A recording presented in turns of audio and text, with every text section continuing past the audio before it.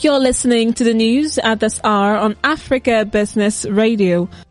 Authorities on Wednesday said Singapore has approved the use of the antiviral drug remdesivir to treat seriously ill coronavirus patients, becoming the latest country to do so. The US authorized the emergency use of remdesivir in hospitals at the start of May, followed by Japan and South Korea, while Europe has been considering following suit. The country's health products regulator said it has been granted conditional approval in Singapore for treatment of some adult virus patients, such as those who require intensive breathing support.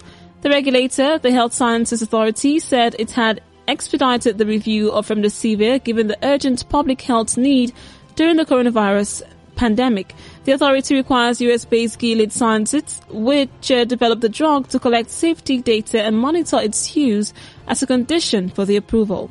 And that was the news at this time on Africa Business Radio. You can continue to listen live online at www.africabusinessradio.com or via our mobile app. Thank you for listening.